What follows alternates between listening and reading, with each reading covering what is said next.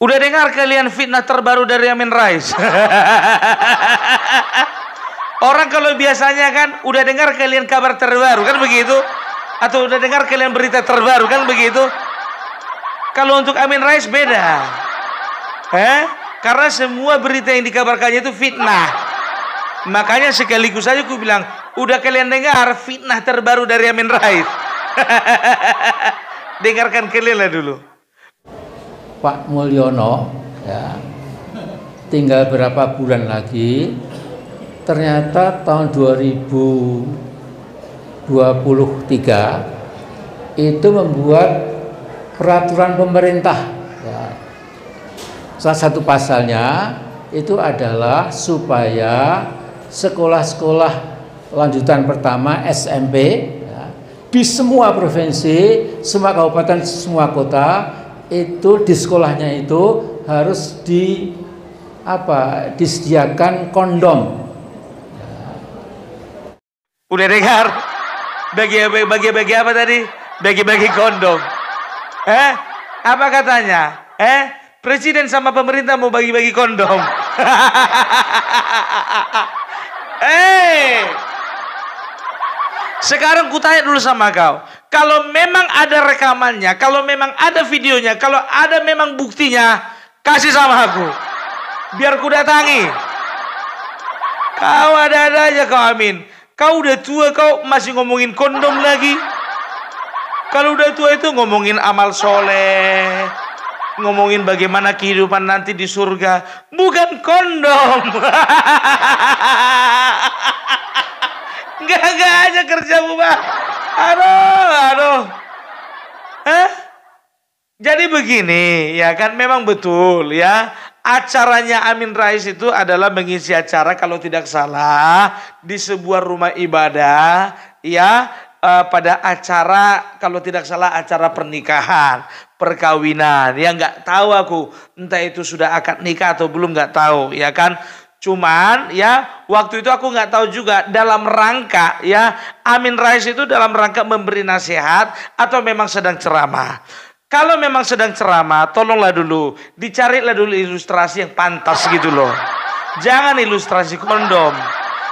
Kurasa itu nggak semuanya orang dewasa itu yang nonton, anak-anak juga ada. Kalau sempat ada anak membisikkan sama mamanya kan, mak apa kondom mak? Mak nanti kalau pulang mak uh, belikan dulu kondom sama adik tiga biji ya mak. Gimana perasaanmu? Kalau juga kau sedang memberikan nasihat atau petua, ya kan, kasihlah nasihat yang bagus-bagus. Enggak usah kau sakut pautkan dengan pemerintah. Ini ku tengok asal ada acara apa, kau sakut pautkan sama pemerintah. Acara kawin, sakut pautkan pemerintah. Nanti kalau ada acara selatan, nanti kau sakut pautkan juga pemerintah. Jadi saudara-saudara, ya sama seperti sunatan ini. Mulyono juga sudah melakukan sunatan terhadap anggaran Republik Indonesia. Maka terbangunlah IKN.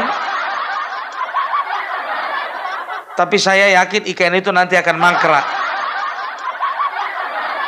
kalau memang tidak di jalan Allah. Makanya kalau sunatmu tidak di jalan Allah, maka anumu mangkrak.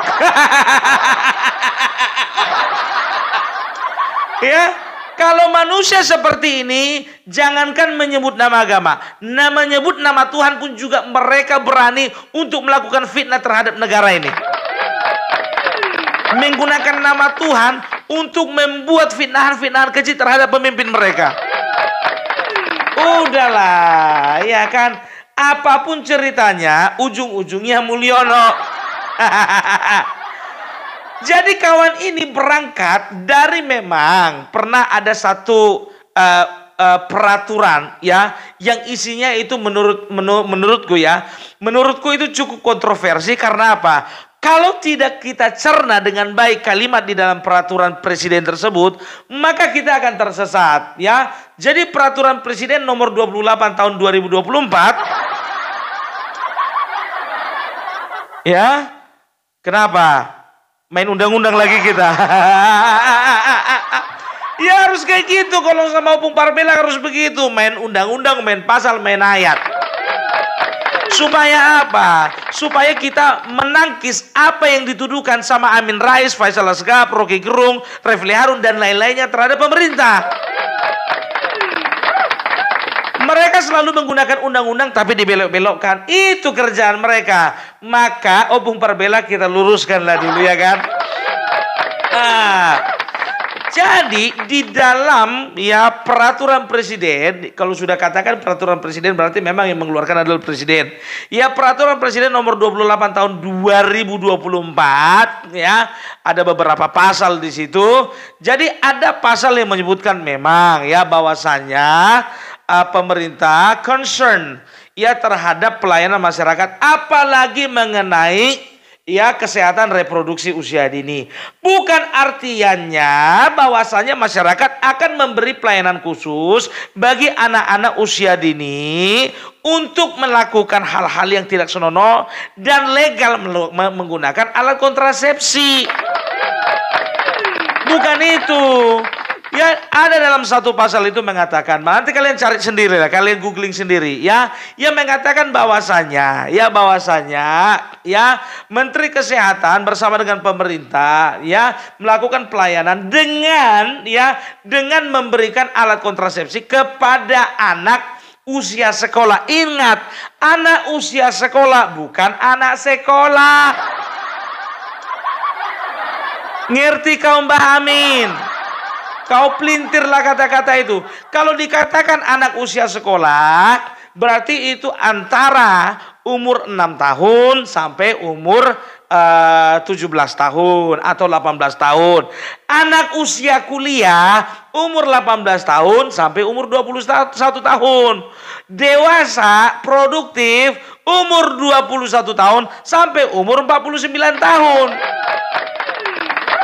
Sekarang begini, kalau dikatakan katanya usia sekolah, udah tentu semuanya sekolah. Belum tentu, iya kan? Kalau dikatakan usia kuliah, apa semuanya kuliah? Belum tentu. Gitu loh. Kalau usia produktif katakanlah, apa semuanya produktif? Belum tentu. Terjemahkan dulu makanya kau kalau mau bikin konten, kau beli dulu kamus EYD. Ejaan yang disempurnakan. Ya, jangan asal nyablak aja lambemu gue. Sorry, orang-orang seperti ini aku nggak bersedia untuk menghormati. Hormati kau sebagai orang tua, tapi secara wawasan, hmm,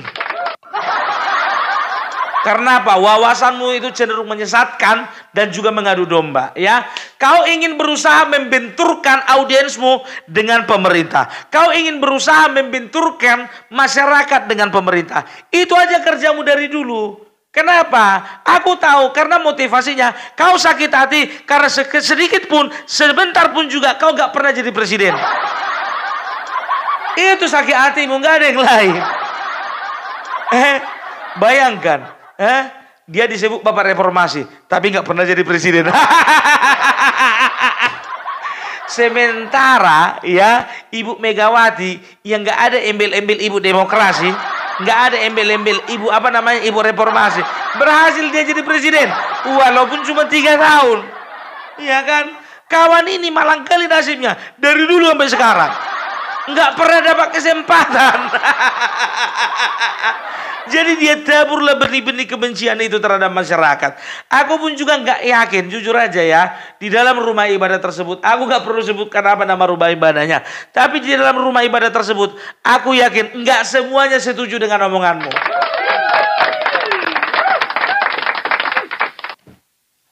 Yang setuju dengan omonganmu, ya, itulah yang komentar-komentar positif di dalam akun apa namanya di dalam video-videomu itu ya kan? Di dalam uh, YouTube Amin Rais official. Paling itu aja yang komentar apa namanya positif. Sehat terus Pak Amin. Maju terus Pak Amin. Indonesia sangat membutuhkan Pak Amin. Dari mana? Sampai sekarang pun mau ada dia mau nggak ada Indonesia tetap maju. Itulah dia Kecuali kalau Jokowi, kurasa kalau Jokowi nggak ada, ya Indonesia terlambat maju 10 tahun. eh, beluhat. Makanya aku bilang, tolonglah dulu agak direm-rem sedikit ya. Itu dia. Jadi isi peraturan itu. Lagian itu juga ada beberapa pasal. Ingat ya, dari pasal yang pertama sampai terakhir, Pak Amin Rais yang terhormat, menurut keluarganya, ya itu ada sangkut pautnya, ya itu satu kesatuan ya yang tidak bisa dipisahkan. Gitu loh. Ya, dan juga paling bawah juga kau perhatikan juga yang sudah dinyatakan sebagai pasangan. Jadi begini, ya, oke, oke, oke, ya. Bukan pada apa namanya? Bukan uh, anak sekolah, tapi pada usia sekolah. Pada usia pada ya uh, leg apa namanya? Bisa dikatakan uh, dilegalkan penggunaan alat kontrasepsi ya bagi anak yang berusia sekolah. Dalam tanda kutip, dalam tanda kurung atau garis miring yang sudah menjadi pasangan. Loh emang ada anak usia sekolah tapi masih pasangan? Ada. Gitu loh. Kita nggak nggak apa namanya apa lagi kalau mungkin kalau yang tinggal di perkotaan kita mungkin jarang ya. Tapi kalau misalnya yang tinggal di desa ya oleh karena memang tidak ada lagi pilihan untuk pergi merantau ya sudahlah ya menikah saja contohnya pada usia sekolah pada usia berapa itu pada usia 14 tahun sampai apa namanya pada usia 12 eh, tahun sampai usia 17 tahun. Itu dia. Ada nggak orang menikah pada usia 12 tahun? Mungkin nggak ada. Ada nggak orang menikah pada usia 14 tahun? Ada. Ada nggak orang menikah saat-saat ini usia 15 tahun? Ada. Ada nggak usia orang menikah saat ini 17 tahun? Sangat ada. Itu yang dimaksudkan dengan usia sekolah, gitu loh. Dan penggunaannya itu dilegalkan bukan ketika dia sedang bersekolah, tapi penggunaannya dilegalkan ketika mereka sudah menjadi pasangan suami istri. Jangan kau terjemahkan belok-belok. Gitu loh. Mungkin saja di satu daerah, ya katakanlah oleh karena tingkat pendidikan yang rendah. Ataupun juga mungkin dari kulturnya juga memperbolehkan mereka menikah pada usia muda. Ya diperbolehkanlah mereka itu menikah pada usia katakanlah dulu 14, 15, 16 tahun. Secara medis, secara medis tidak disarankan seorang wanita melahirkan sebelum umur 20 tahun. Gitu loh. Nah, kenapa tidak diperbolehkan? Tidak disarankan. Karena angka kematian yang begitu tinggi di kalangan wanita-wanita muda. Itu harus kau cerna.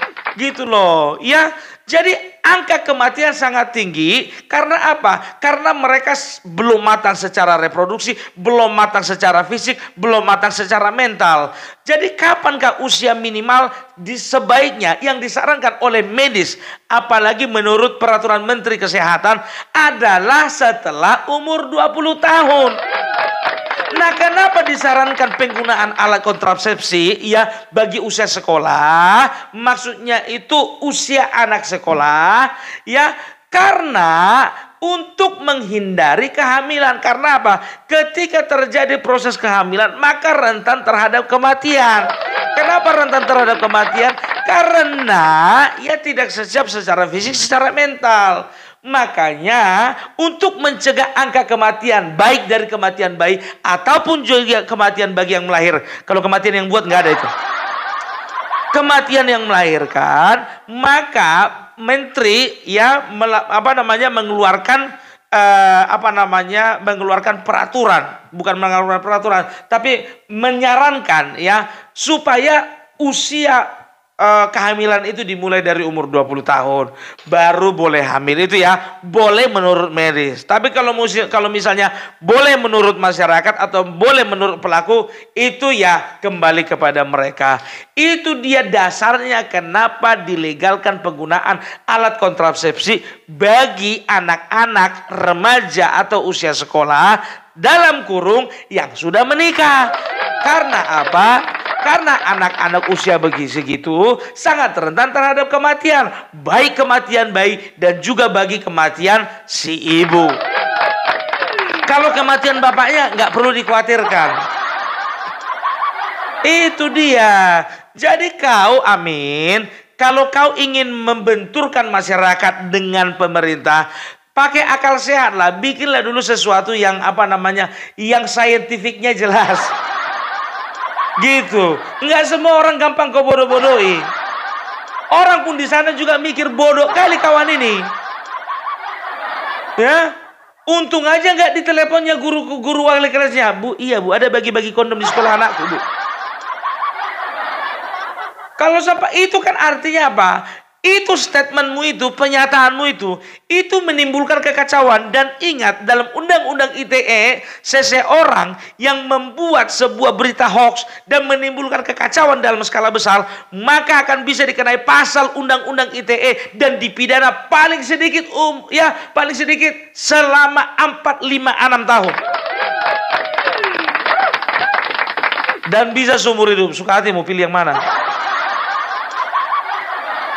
Itu dia jangan sembarangan lah Pak Anies, eh Pak Anies. Pak Amin, ya. Kalau mau bikin hoax, ya lihat dulu minimal googling dulu lah. Searching dulu lah di Google. Jangan nampak bodohnya gitu loh. Tapi kok profesor, ya masa profesor tahunya hanya mengembangkan isu.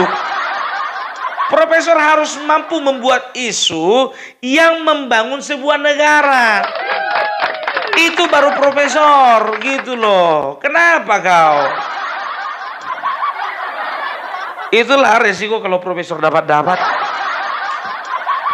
Ya, makanya aku bilang, kurasa ya, tapi memang kita tidak salahkan juga institusi yang memberikan gelar profesor kepada dia. Karena mungkin di awal-awal dulu dipikirnya ini waras. Eh di akhir-akhir kok bisa kayak gini kawan ini? Kan begitu. Udah sakit otaknya. Ku bilang sakit otaknya karena apa? Karena motivasi dia menyebarkan berita-berita bohong seperti itu adalah supaya masyarakat benci kepada Joko Widodo. Iya kan? Eh, opung doli.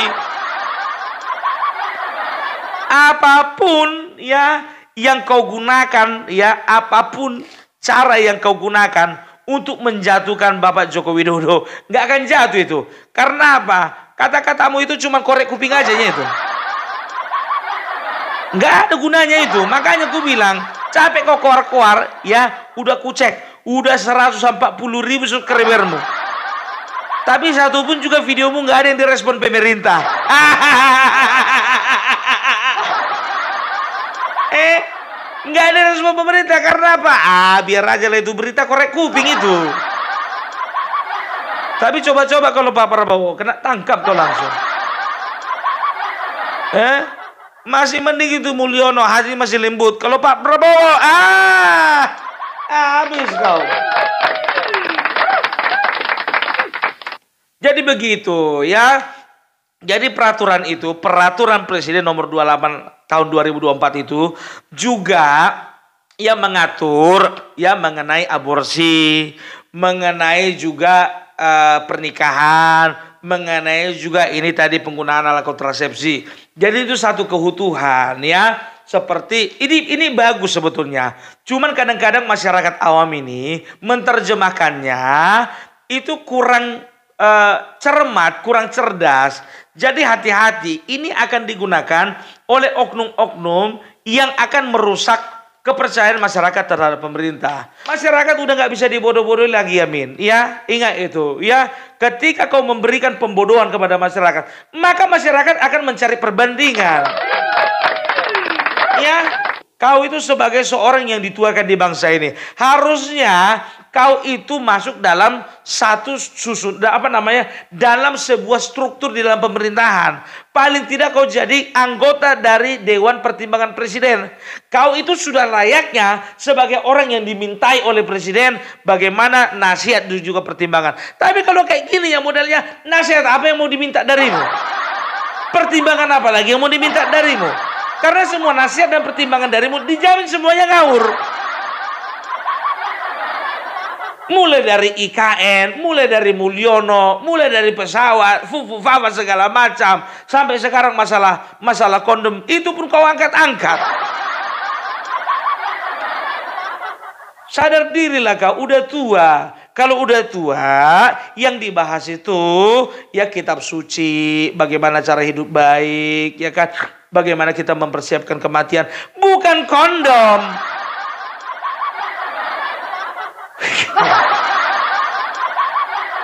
Capek kali aku ngomong sama Mubah.